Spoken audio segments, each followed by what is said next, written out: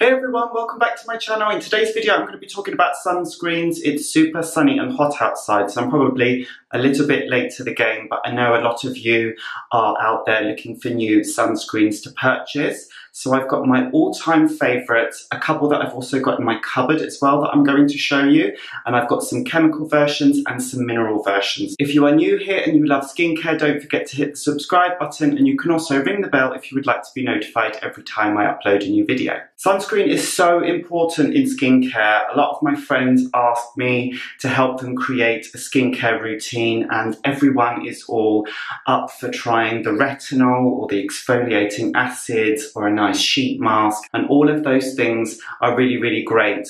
But a lot of people really just don't want to wear a sunscreen every day. They often want to get a tan in the summer, or they feel like they live somewhere where there's not enough sunshine to warrant wearing one in the first place. But even if you live somewhere that's mostly cloudy, like here in the UK, you still do need to wear sunscreen every day. First of all, sun damage is the main cause of aging in the skin. So if you want to keep your skin looking healthy, then sunscreen is the best thing that you can possibly do. And obviously, in addition, sunscreen will protect you against skin cancer, which is something that we should all be wary of. So when it comes to choosing the right sunscreen, the main thing that you want is something that you're comfortable to slather on your face every single day. And that's actually quite difficult to find because everyone's got different requirements of what they want and expect from a sunscreen. Some of them can be too heavy and cause people to break out. Some of them can make people's skin tones look ashy and white and ghostly. Or some of them might cause sensitivity on the skin. I'll get started with the mineral versions, which are particularly good for people with sensitive skin. I recently did a video on the best skincare products and how to create a skincare routine if you have got sensitive skin, which I will link up above. Mineral versions tend to be slightly better if the skin is a little bit more sensitive because sometimes the chemicals chemical versions can cause the skin to sting. And obviously when it's hot and sweaty, things can melt and move around. So sometimes it does go in your eyes a little bit and sting. So if you are more on the sensitive side, then you definitely should look out for the mineral versions. The only downside to them is that they can be a little bit white and chalky. And it's hard to find the right formula with a really nice cosmetic finish, but I've got a couple of favorites that are really, really good. Clinique Mineral Sunscreen Fluid for Face is such an excellent mineral sunscreen. This is one of the first sunscreens that I started using religiously and I didn't even realise that it was a mineral sunscreen. When I first started using sunscreens on my face, I actually didn't know the difference between a mineral version and a chemical version. I used to just use sunscreen. So the fact that this is a mineral version is really good because I feel like it has a really nice lightweight formula. It's not too heavy, not too greasy, not too chalky, and it melts into the skin very, very nicely. And being that it's from Clinique where all of the products are fragrance free, it really is a good option for sensitive skin types. And at £20 in the UK, it's a really good price point. I will link it down below with a link for the UK, Europe, and also a separate link where you can purchase it in the US or Canada. Now, any of you that watch my videos all the time will know that I've been using this a lot recently. This is a reasonably new purchase for me, but I really, really like it. I did a full review on it where I applied it to my face, which I will also link down below. It's the Purito Comfy Water Sunblock SPF 50 PA++.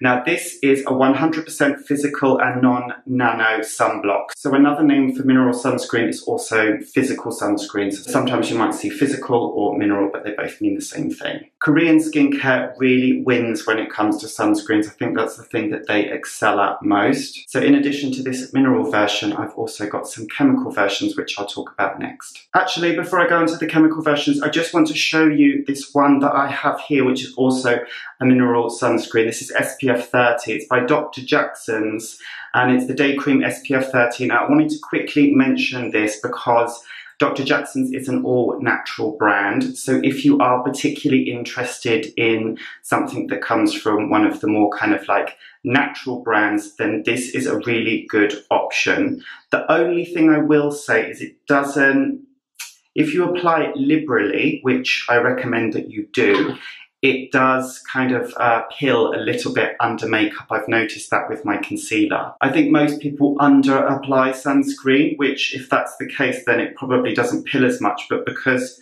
I do apply it properly, um, that's the only thing that isn't ideal about this. But if you don't particularly wear much makeup, then this is absolutely fine. Now it looks completely white when it first goes on, but it sinks into the skin so well and it gives like a really, really, really nice dewy finish. And I have to say, for a mineral version, it's um, it's not white at all. Obviously, it is only SPF uh, 30 and not SPF 50, but that is still a good rating and it's definitely kind of the minimum that you should be looking for, but it will offer protection. And you can see now it's completely kind of absorbed into the skin and left no white cast. So that's a really good all natural version. Now, moving on to the chemical versions, which are my personal favorite because I feel like they are the lightest formulas. They don't leave any white cast on the skin and they're easy to use.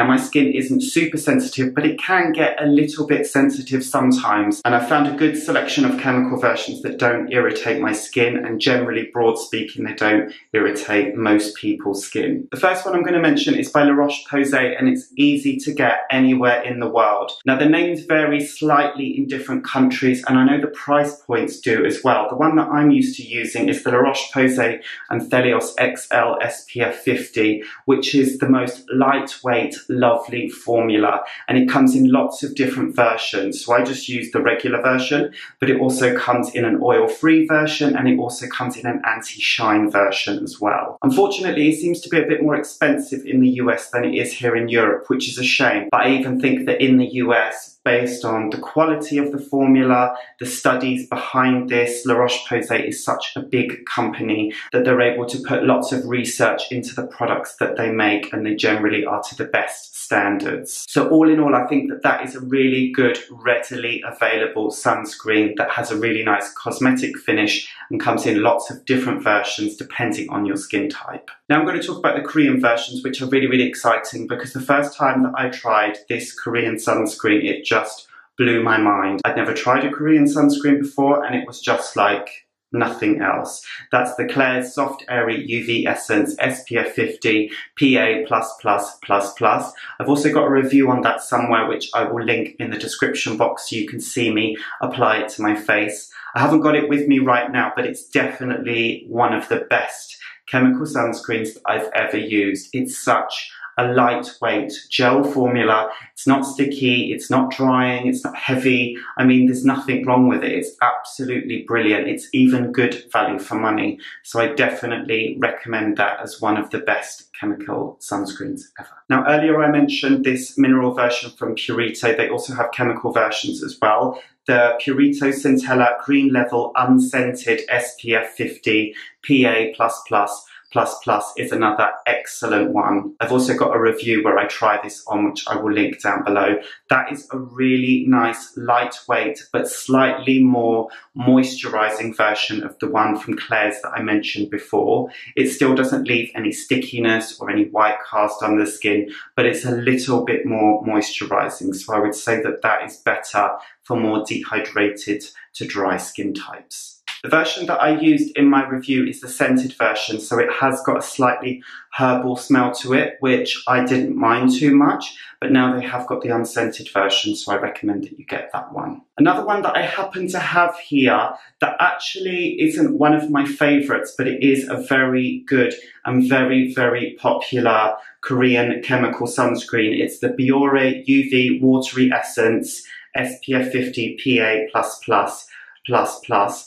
The reason why I don't love this so much is because um, I feel like it has the potential to irritate the skin and it also um, seems to have a lot of alcohol in. Now, alcohol isn't always a bad thing in your skincare. Sometimes it can kind of balance a formula so that all of the active ingredients are able to be delivered within the skin without causing any kind of greasiness or pilling or anything like that.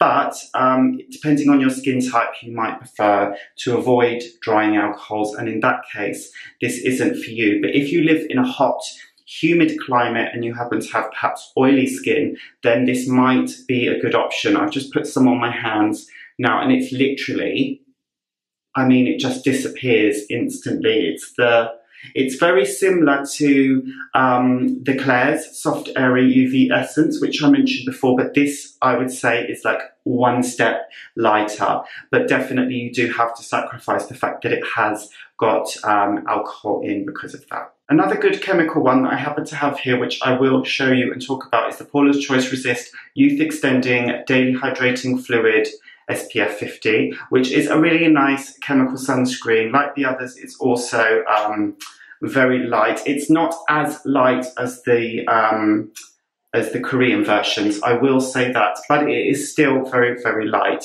The only thing I will say about this is, um, just see, I'm just going to rub it into my arm absorbs very nicely. Now, they do say that this is for normal oily combination skin. Now, even though this does have a very lightweight formula, I would say that it's still quite moisturizing on the skin. So if your skin is particularly oily, then this might, I would say, be a little bit too heavy. I think that it's better for like normal to dehydrated skin rather than a combination or oily skin. So those are my recommendations for mineral and chemical sunscreens that work very, very well. They're high performance, they have a great finish on the skin, and none of them are too expensive. I'm always on the lookout for new recommendations, so please let me know what your favorite sunscreen is in the comments below. And if you've tried any of the ones that I've recommended today, then please let me know what you think of them yourself. Thank you so much for watching. Don't forget to give this video a thumbs up, and I will see you in the next one.